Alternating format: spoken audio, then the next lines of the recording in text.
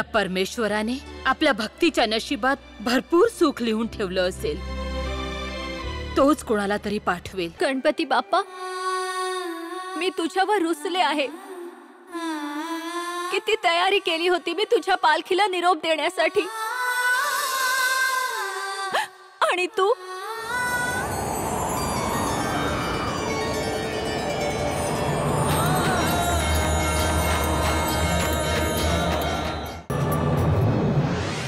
नारायण नारायण.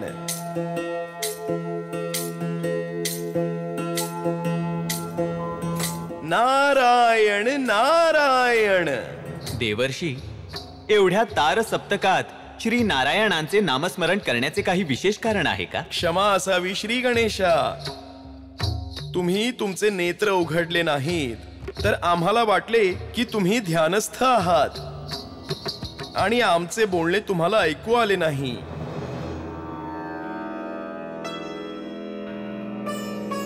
प्रणाम श्री गणेश. तुम्ही विसरत आहात देवर्षी की आवाज ऐकण्याकरिता. डोळ्यांची नव्हे तर कानांची गरज असते. तुमचा हा जो मिश्किल स्वभाव आहे त्या कारणास्तवच माझे मन या त्रिभुवनात येथील प्रमाणे कुठेच लागत नाही श्री गणेश. आणि मी पुन्हा पुन्हा इथे येऊन तुमच्याकडे खेचला जातो. आणि अगदी खरे सांगायचे झाले तर आम्हाला तुमच्याच आगमनाची आस लागली होती. आम्हाला ठाऊक होते पृथ्वीवर भक्ती अन वीरच्या झालेल्या आकस्मिक भेटीमुळे तुम्ही उत्तेजित होणार. प्रभू अशा प्रकारची घटना पाहून कोण उत्तेजित होणार नाही? पूर्व जन्मात देखील जेव्हा जेव्हा हे दोघे एकमेकांसमोर आले एकमेकांच्या दुःखाचेच मूळ ठरले आहेत. तर आता पुन्हा या जन्मी वीरला भक्तीच्या समोर आणून खुद्द तुम्हीच तुमच्याच भक्ताच्या आयुष्यात वादळ आणणार आहात का? क्षमा करा देवर्षी.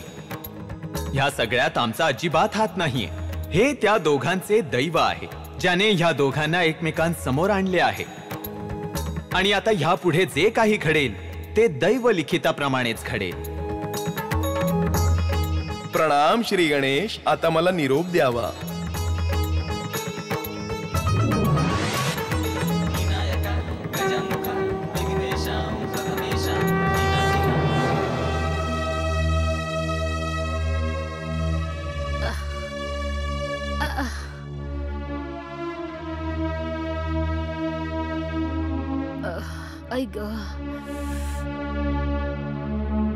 माझे गुडघे या वेदना जीव घेतील माझा.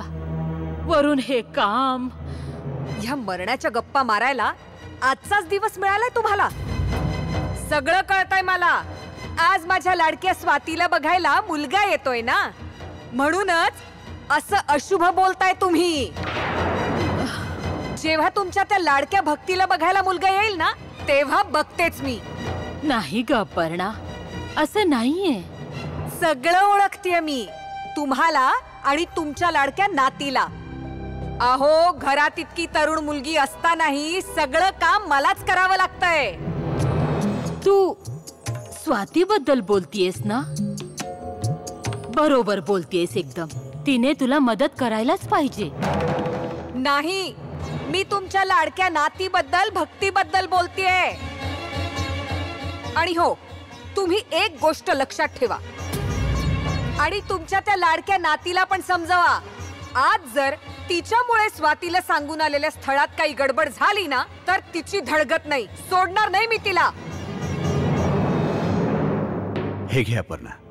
तू जे जे सामान सांगितलं होतंस ना ते सगळं घेऊन आलो. हे घे. उपकार केलेत का माझ्यावर? जा जाऊन स्वयंपाकघरात ठेवा सगळं सामान.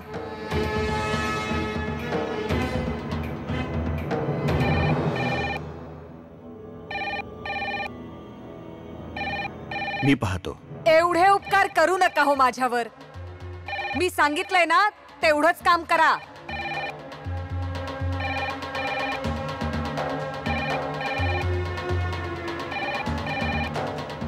हॅलो? हॅलो अपर्णा. हा मी बोलते. कशी आहेस तू? अग कुमकुम. मी चांगली आहे. अग तुझा तो मुलगा शरद अजून पोचला नाही ग तो. अगं पण तो तुझ्याकडे यायचं म्हणून कधीच निघालाय. पोहोचतच असेल. गाडीने येतोय ना? वाटेत खूप गर्दी लागली असेल. एक काम कर ना तो पोचला की लगेच मला कळव. ठीक आहे? बरं बरं. अरे देवा विसरलेच मी. स्वातीचीही तयारी राहिली आहे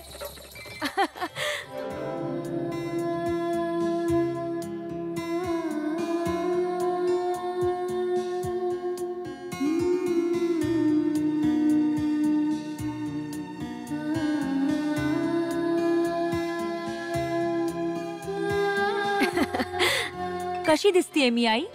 खूप छान. खूपच सुंदर दिसतेस बघू तरी. हम्म, फक्त एक गोष्ट उरली आहे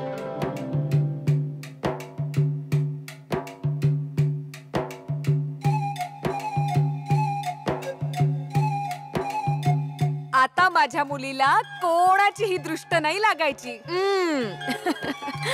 काय हे आई? हा नजरेचा टिक्का तर तू लावलास.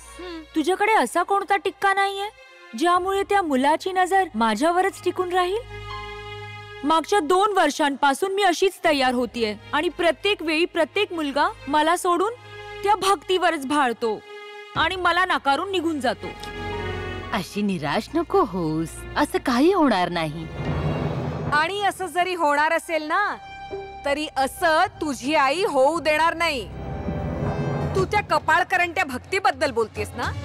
अग, ह्यावेळी मी परमेश्वरालाही तुझ्या मार्गात आडवा येऊ देणार नाही. आज मी असं काही करणार आहे, जे मी माझ्या उभ्या आयुष्यात कधीही केलं नसेल.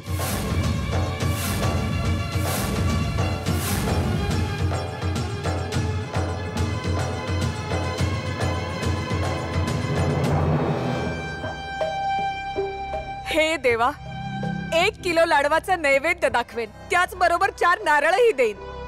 जर शरदने आज माझ्या मुलीला पसंत केलं तर. तो मुलगा शरद आहे ना? खूप चांगला मुलगा आहे. माहितीये का? तो माझ्या मैत्रिणीचा मुलगा आहे. हा. बस. त्या दोघांची जोडी जमू दे. एवढी कृपा कर माझ्यावर. अरे प्रसाद तर नंतर दाखवेनच. पण आता दिवा लावते तुझ्या पुढे. हा. आजच्या दिवशी सांभाळून घे.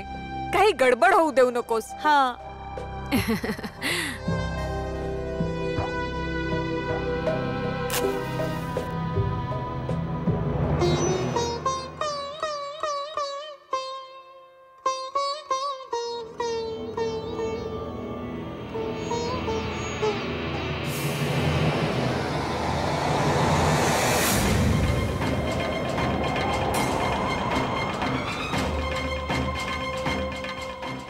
देवा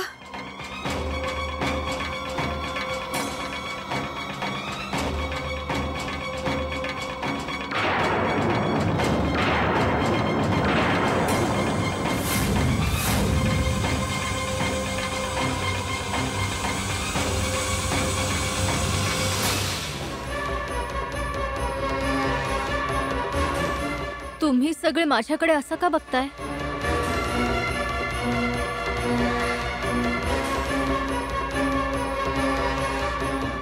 आई आता काहीच चांगलं होणार नाही आई.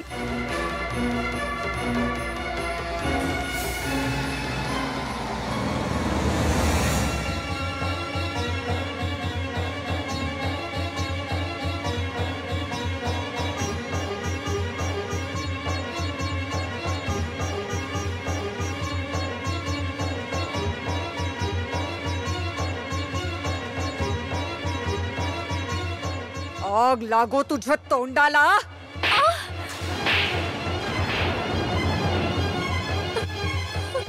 कपाळ करंटे तू अजूनही वटणीवर नाही आलीस तर काकू मी मी काय केलंय काकू? मलाच विचारतेस मी काय केलं म्हणून? अगं आमचं जगणं अवघड करून ठेवलंयस तू. किती दिवसांनंतर माझ्या मुलीच्या आयुष्यात आनंदाचा क्षण आला होता. आणि तू नेहमीप्रमाणे अपशकून केलासच.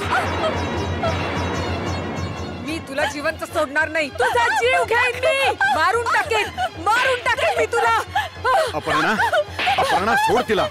अपर्णा काय करतेस हे तू? खूळ लागलंय का तुला? केलंय का या निष्पाप मुलीनं? हिची काय चूक आहे? चूक कोणाचीही असली तरी केलंय तर हिनीच ना? अपशकून हिनीच केलंय ना? आयुष्य पोखरलंय ना हिने माझ्या मुलीचं? जा. अपर्णा माझं ऐक तू. मी मी तुझ्या पुढे हात जोडतो. शकून अपशकून असं काही नसतं. काही नसतं काही नाही होणार आता. सगळं ठीक होईल. परमेश्वर सगळं ठीक करेल. सोड ना आता. जाऊ दे तिला.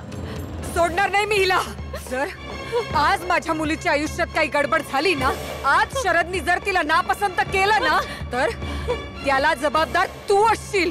तू! पण लक्षात ठेव असे हाल करीन ना तुझे आयुष्यभर लक्षात ठेवशील. कळलं? कळलं?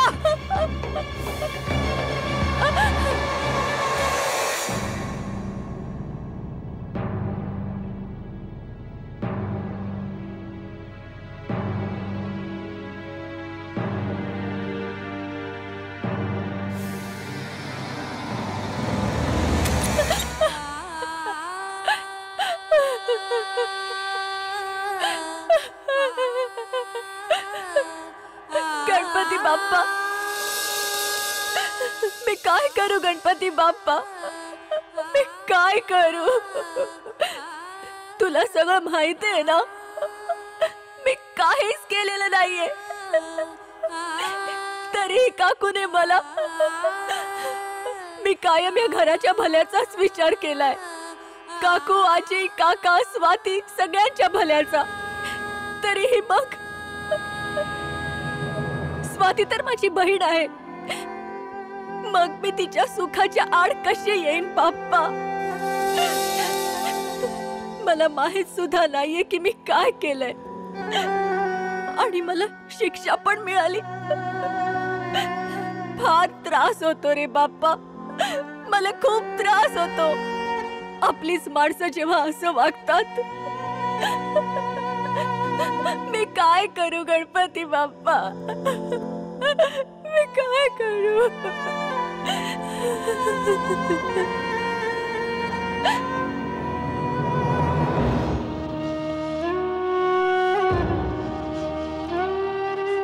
काय झाले देवी? तुम्ही एवढ्या चिंतित का आहात? मी तुमच्या चिंतेचं कारण जाणून घेऊ शकतो? नक्कीच स्वामी. मला वाटणारी चिंता वीर आणि भक्तीच्या संदर्भातील आहे. प्रत्येक जन्मात जेव्हा मी त्यांना दुःख आणि यातना भोगताना पाहते तेव्हा माझे मन द्रवते स्वामी. स्वामी आज मला तुमच्याकडून जाणून घ्यायचे आहे की त्यांचे कष्ट केव्हा संपतील?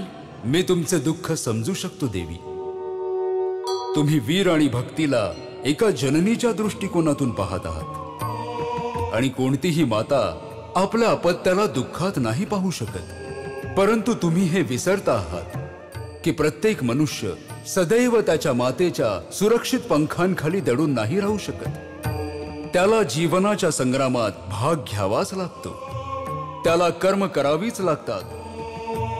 आणि त्याच्या या जीवन संग्रामातून प्राप्त होणारी फळे ही त्याच्या याच कर्मांवर आधारलेली असतात. परंतु स्वामी पूर्वजन्मीच्या ह्या ऋषी अपत्यांकडून तर अशी कोणतीही त्रुटी राहिली नाहीये. कोणतीही चूक घडलेली नाहीये. तरी देखील त्रुटी राहिल्या आहेत देवी. त्यांच्या जीवनातील एकमेव आणि गंभीर चूक होती. त्यांचा क्षणिक आवेश ज्यामुळे दोघांनी एकमेकांना शाप दिला. आणि त्यांच्या याच क्षणिक आवेशाने त्यांना युगानुयुगे भटकण्यासाठी अगतिक केले आहे. म्हणजे यांच्या अपराधाची शिक्षा कधीच संपणार नाही का? काहीतरी उपाय असेलच ना? असा कोणता तरी मार्ग? ज्यावर हे दोघे पुढे वाटचाल करू शकतील स्वामी? पाऊल तर त्यांनी उचलले आहे देवी. परंतु त्यांचे मार्ग निष्कंटक असतील की नाही ते त्यांच्या पावलांच्या दिशेवर अवलंबून आहे. जर त्यांची दिशा योग्य असेल तर ते त्यांचे प्रारब्ध गाठू शकतील. आणि जर त्यांची दिशा चुकली तर ते दिशाहीनपणे पुन्हा जन्म मृत्यूच्या चक्रव्यूहात अडकून पडतील. त्यामुळे देवी तुम्ही त्यांच्या अवस्थेमुळे दुःखी होऊ नका आणि त्यांना आशीर्वाद द्या. की त्यांनी त्यांच्या आयुष्याला नवी दिशा द्यावी. यातच त्यांचे कल्याण आहे.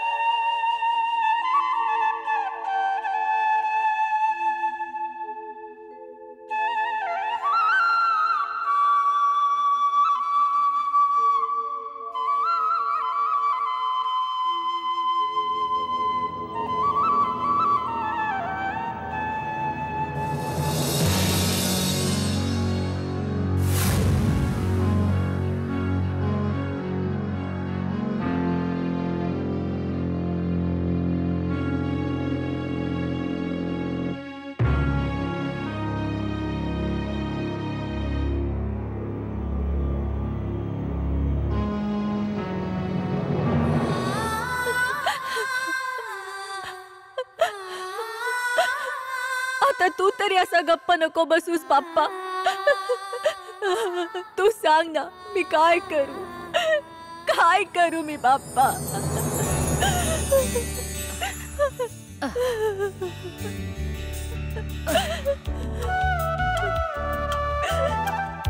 आता तू काहीच करू नकोस माझ्या राणी.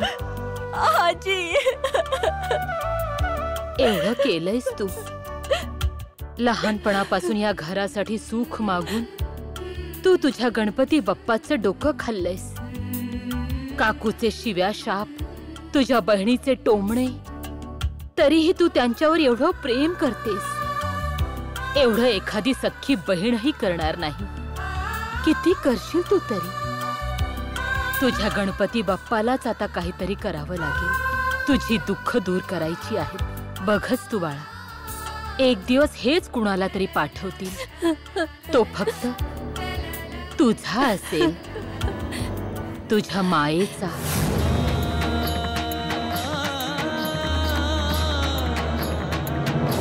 एखाद्या झुळकेसारखा येईल तो.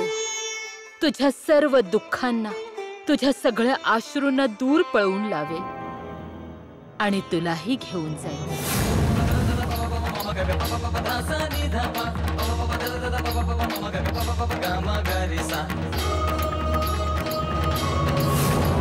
आणि तुला माहितीये तो कोण असेल? तुझ्या जन्मोजन्मीचा जोडीदार. फक्त ह्या जन्मात नव्हे तर पुढच्या सात जन्मात तुझा हात सोडणार नाही. आणि तुला सुख एवढं भरभरून देईल की त्यासाठी तुझी झोळी पण छोटी पडेल.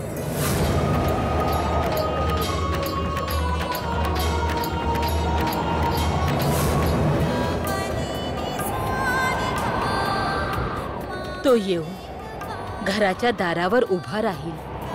आणि तुला तुझ्या या म्हाताऱ्या आजीपासून लांब घेऊन जाईल. कायमचीच घेऊन जाईल. तुझ्या स्वप्नांच्या जगात. आजी तू पण ना. आजी काय? मी खरंच सांगते तो येईल. एक दिवस तो नक्की येईल.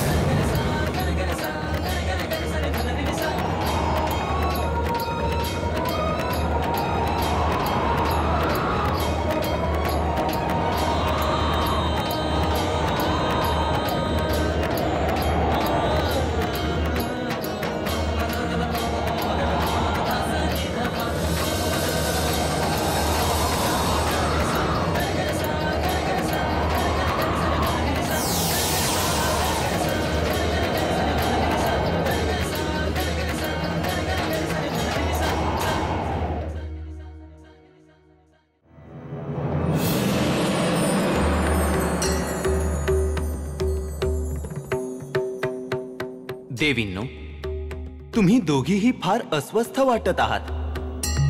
तुम्ही एवढ्या चिंताग्रस्त कशाने झाल्या आहात? तुम्ही खरे बोलत आहात स्वामी. एक प्रश्न आहे आमच्या मनात. ज्याचं उत्तर केवळ तुम्हीच देऊ शकता. तुमची अस्वस्थता वीर आणि भक्तीमुळे तर नाही ना? तुम्ही बरोबर बोलत आहात स्वामी. आम्ही दोघी त्या दोघांच्या आयुष्यात घडणाऱ्या नाट्यमय घटनांमुळे चिंतित आहोत. आणि वीर वीर तर आता भक्तीच्या घरापर्यंत जाऊन पोहोचलाय. मग तिचे दार उघडण्याची इच्छा मनात धरून तो स्वतः स्वतःसाठी संकटांना आपत्तींना निमंत्रण तर देणार नाही ना? जे द्वार उघडण्याची वीर वाट पाहतो आहे त्या द्वारामागे दैवाने त्याच्यासाठी काय वाढून ठेवले आहे ते वीर देखील सांगू शकत नाही. कारण मनुष्याला आपले भविष्य जाणून घेता येत नाही. परंतु त्याला त्याच्या भविष्याचा अंदाज बांधता आला असता तरीही त्याला ह्या द्वारापर्यंत यावेच लागले असते. कारण त्याच्या जीवनाची यात्रा ह्या दरवाजावरूनच पुढे जाते. होय हे खरे आहे. भक्तीच्या घराचे ते बंद द्वार ज्या ठिकाणी वीर उभा आहे ते उघडताच त्या दोघांच्या जीवनात उलथापालथ होईल. म्हणूनच आपण धीर धरावा अन वीर प्रमाणेच ते दार उघडण्याची वाट पाहावी. कारण ते दार उघडताच त्यांच्या जीवनाची नवी प्रकरणे लिहिली जाऊ शकतात.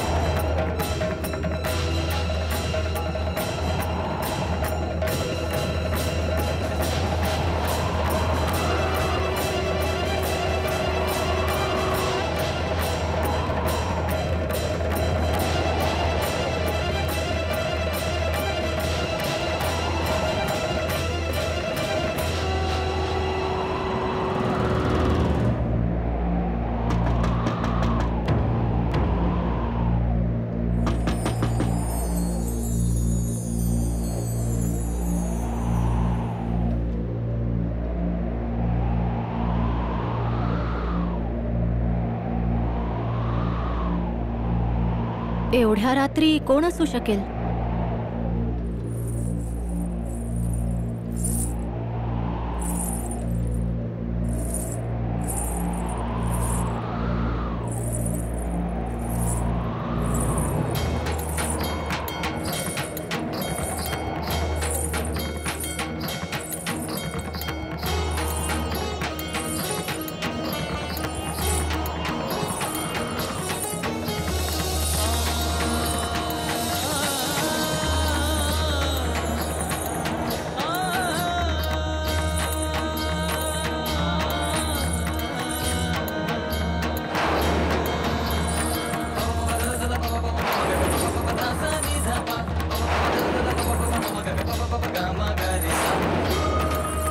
हा तोच नाद आहे. हा नाद मी कसा काय विसरू शकतो? ह्याचा अर्थ ती मुलगी जिला पाहून मला जन्मोजन्मीच्या नात्याची जाणीव झाली होती ती इथेच कुठेतरी राहते. ह्या घरातच तर नसेल.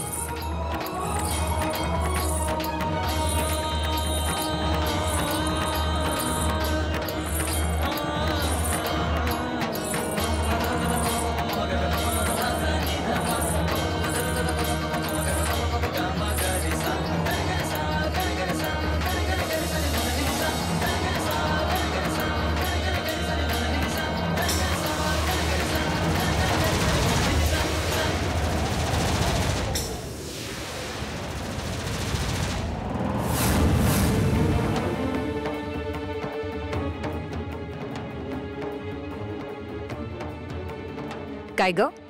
हा? तू का आली आहेस इकडे? चल चल जा इकडून. मी जोपर्यंत सांगत नाही तोपर्यंत बाहेर यायचं नाही कळलं?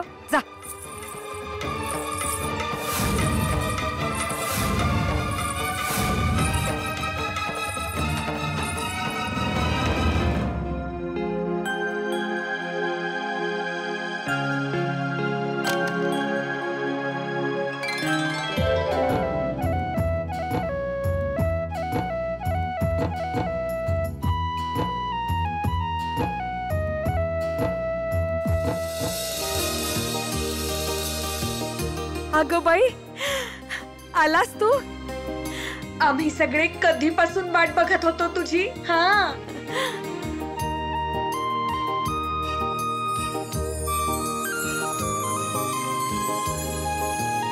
अय्या किती मोठा झालायस रे तू. पण पुतळ्यासारखा इथेच उभा राहणार आहेस का तू? हा?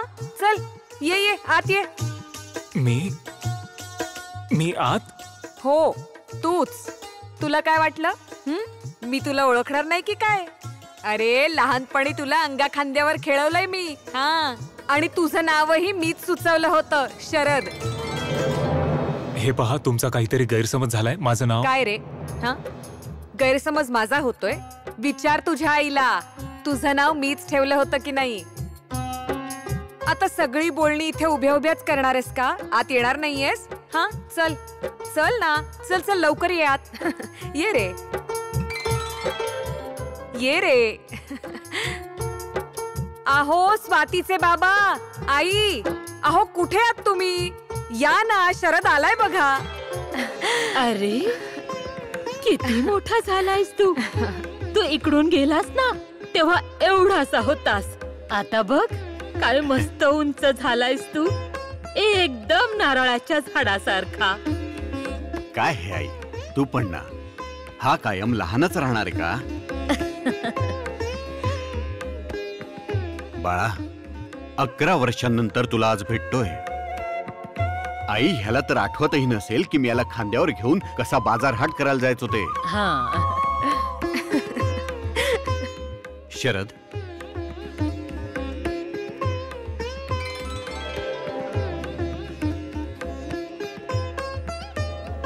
प्रवास कसा झाला? घर शोधायला काही अडचण नाही ना आली? नाही. मला काही त्रास नाही झाला. ऍक्च्युली माझ्याकडे हे अरे पत्र? नक्की कुमकुमने माझ्यासाठी पाठवलं असेल. नंतर वाचते. हे पहा मला तुम्हाला काहीतरी सांगायचंय. बाळा गप्पा तर काय चालूच राहतील. तू बस तर खरं. अरे बसू दे तरी ह्याला. बस ना. बस ना. बस. काय झालं बाळा? त्रास होतोय का? नाही वाटेत एक छोटा ऍक्सिडेंट झाला होता. ऍक्सिडेंट फार मार तर बसला नाहीये ना? हा? नाही फक्त एक छोटासा ऍक्सिडेंट झाला होता. पण मला तुम्हाला एक सांगायचंय. खरं तर असं आहे की अग याचे कपडे तर बघा किती खराब झालेत. हो आजकाल रस्त्यावर चालणं सुद्धा अवघड झालंय. कसलाच नेम नाही. बाळा आंघोळ करून कपडे बदलून घे. हा? आपण भरपूर गप्पा मारूया नंतर. आहो तुम्ही असेच बसणार आहात का? बघा याला किती लागलंय ते. ऐकताय ना? जरा उठायला मदत करा. चला. हो हो. नाही मी ठीक आहे. मी जाईन. चल चल. ये. हा ये ये. ये ये. पण चल. चल आंघोळ करून घे. इथून इथून. हळू जा सावकाश.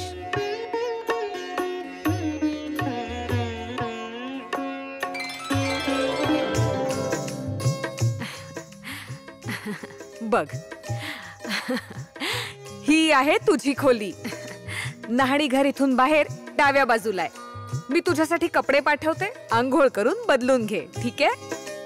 अरे एवढं लाजायला काय झालं? हा? आता हे घर तुझंच आहे असं समज. हा.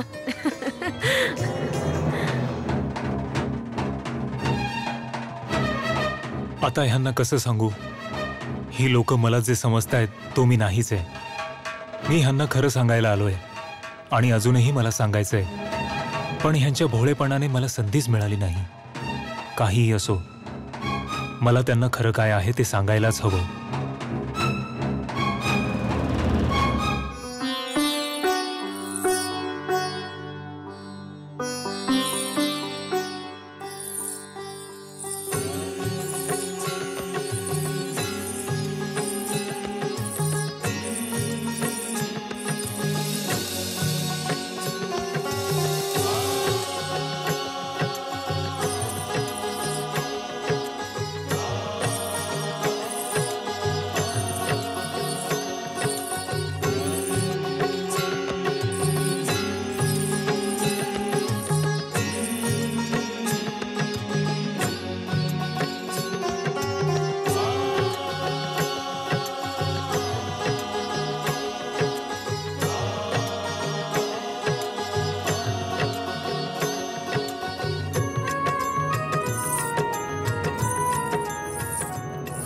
पैंजणांचा नाद माझ्या पायातली बेडी का होतोय?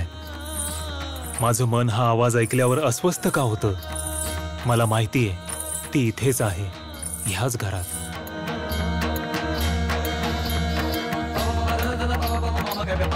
काय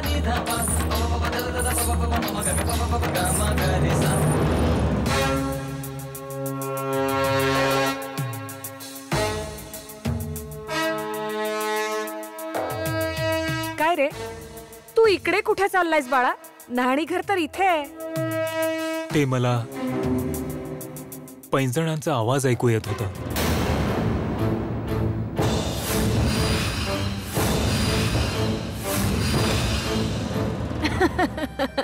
ते होय. अरे तो स्वातीच्या पैंजणांचा आवाज असेल हा.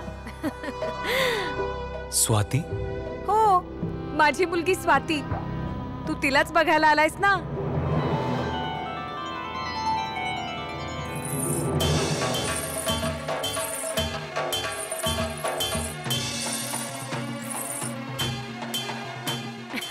अरे इतका उतावळा का होतोयस हा? लवकर तयार हो. नंतर स्वातीला भेटायचंच आहे तुला हा?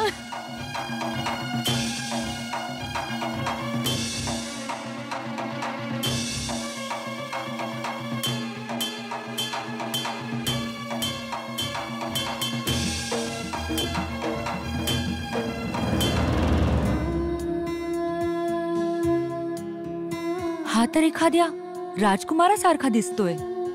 मी जर लग्न केलं तर ह्याच्या सोबतच करेन. नाहीतर अजिबात नाही करणार.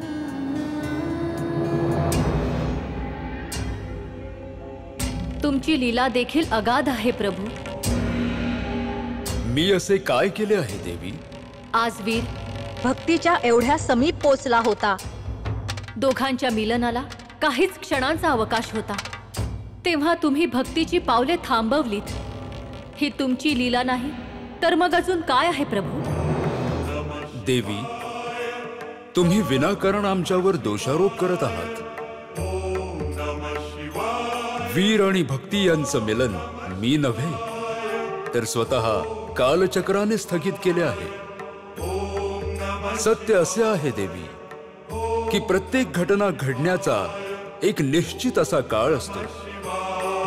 आणि वेळेपूर्वी ना कुठले कार्य संपन्न होते ना व्हायला हवे. आता मी निश्चिंत झाले आहे कारण आता नियतीने वीर आणि भक्तीला एवढ्या जवळ आणलेच आहे. तर अजून किती काळ ते एकमेकांपासून लांब राहतील? कधी ना कधी त्यांना एकमेकांसमोर यावे हे लागेलच. मी बरोबर बोलते आहे ना स्वामी? काही प्रश्न अनुत्तरित ठेवणेच योग्य ठरते देवी. चला. आपणही वीर आणि भक्तीच्या बाबत या जन्मात घडणाऱ्या घटनांचे साक्षीदार होऊया.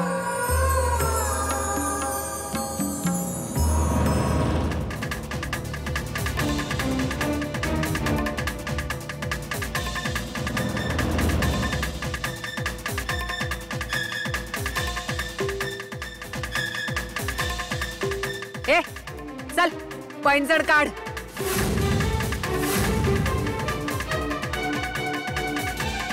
काय? काय काय करू नकोस हा? ऐकू येत नाहीये. मी काय म्हणते ते? चल पैंजण काढ. अपर्णा तू हे काय बोलतीयस? हिला त्याच्यासमोर जाऊ दिलं नाही तर ही हिच्या पैंजणांचा आवाज करून माझ्या मुलीचं सुख हिरावून घ्यायला बघतेय. हो ना? चल पैंजण काढ. नाही काढणारेस? मी काढते. काढ पैंजण. काकू? काकू ही माझ्या आईची शेवटची आठवण आहे काकू. अग तुझी आईच आता नाहीये. तर या पैंजणांचं लोणचं घालणारेस तू? हा?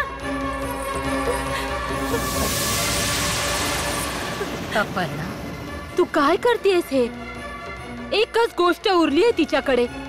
का रडवतीयस तिला? मी रडवते हिला?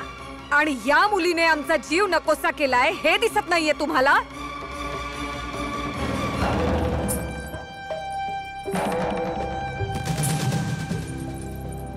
you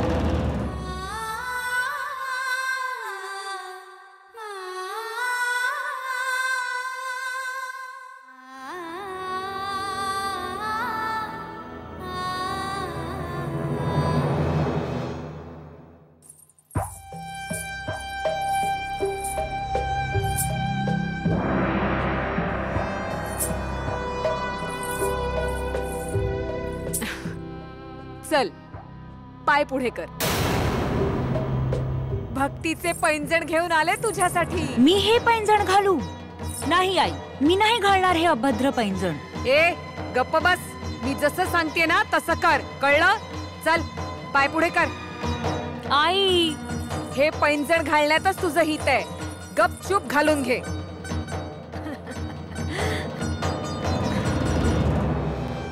आता बघ या पैंजणांमुळे माझ्या मुलीच्या आयुष्यात सुख कसं छन छन करत येतं ते.